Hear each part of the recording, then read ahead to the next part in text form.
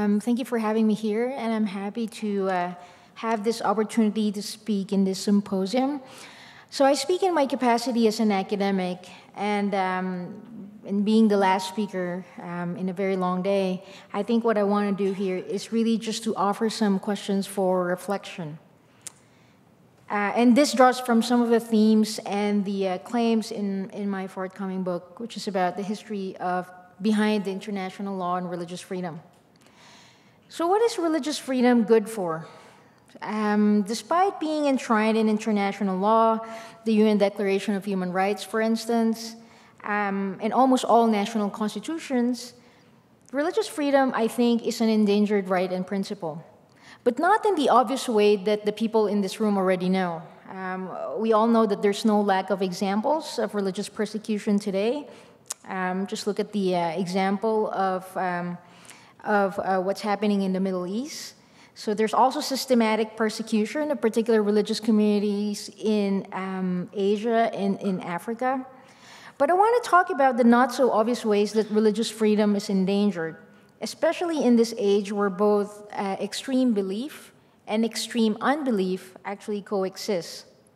So the first is in the way that religious freedom is framed um, in efforts um, by Western governments and groups in order to address these, um, these tragic um, um, these tragedies. So there's an increasing amount of criticism directed towards the promotion of international religious freedom by Western governments, as well as various non-governmental organizations. As we have briefly heard from uh, Professor David Little um, during his plenary remarks yesterday evening, one main complaint is that the foregrounding or, of religion as the main explanation for almost all geopolitical, for almost um, for a lot of geopolitical conflicts, breeds even more sectarianism or creates conflict where there is little. And the underlying premise of this complaint is a blind spot caused by the dominant secular worldview of many in the West. We know that there's an increase in terms of the number of people who are irreligious, and that's similar in number in terms um, of domestically and internationally. So, in Western societies, such as Canada, where we have the Charter of Rights and Freedoms that protects religious freedom, religious accommodation claims are sometimes seen as unfair ex exemptions. So, one would normally hear the complaint why can't we all just follow the same rules? Or why can't they just be religious in private? Um, why consider religion special at all? Internationally, many scholars and even government officials and policymakers also tend to, tend to th think that religion is simply a proxy uh, for other things and nothing else. Uh, for some people, it can be a proxy for a, uh, some kind of hatred against the lingering colonial presence in the Middle East, for instance, or the um, simply lack of jobs or civil order in particular societies. And I think that's because religion now is less relevant uh, in our own lives, generally speaking, notwithstanding this conference. The appeal of the terrorist group ISIS, for example, rightly or wrongly, lies in its religious mission and character. But for many people, it's difficult to comprehend and much less to relate uh, with religion's resonance and power for believers, and especially for those who believe that this life, um, the life in this world, is not all there is to it. Religious freedom presupposes, though, that one is claiming something, a freedom that is religious in character. And if we take these criticisms to their logical conclusion, and religion is just a smokescreen or a proxy for other values and factors in a particular conflict, we are left with nothing. So, what would it mean then to protect religious freedom? Religious freedom is also endangered in another non obvious sense.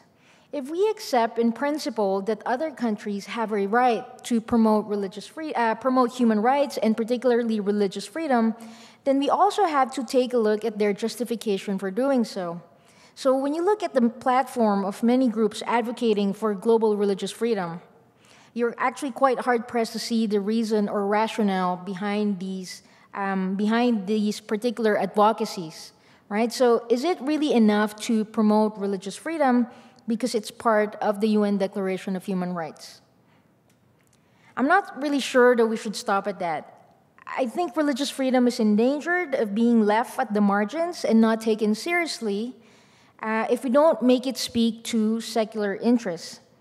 So, if religious freedom advocacy is undertaken at the exclusion of other important earthly and secular interests, then its advocates, both governments and non government groups, risk religious freedom's own marginalization in the mainstream discourse as something that is only of concern, for instance, to Christian groups.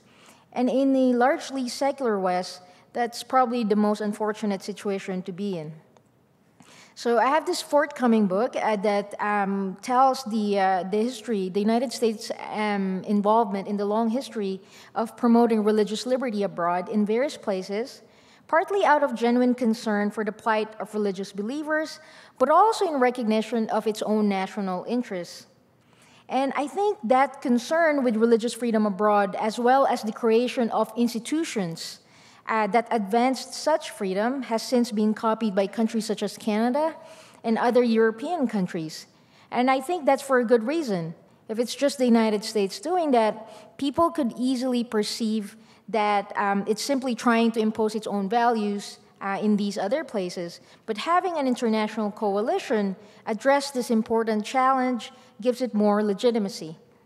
But as all these countries come together uh, to promote religious freedom, we also have to change the way that we talk about religious freedom. Um, governments, for instance, should take religion and the language of religion seriously. Uh, but at the same time, religion should also take the language of the state seriously. How does religious free freedom intersect with other issues relevant to a particular society? And it should be made clear that um, the pursuit of religious freedom is done not only uh, because it's a human, human right, although, of course, it's, a, it's an important human right, or that it's also the right thing to do, even though it's really the right thing to do, but that it's also in the national interest of these governments to do so and that it need not be a zero sum um, choice between the two. So, thank you.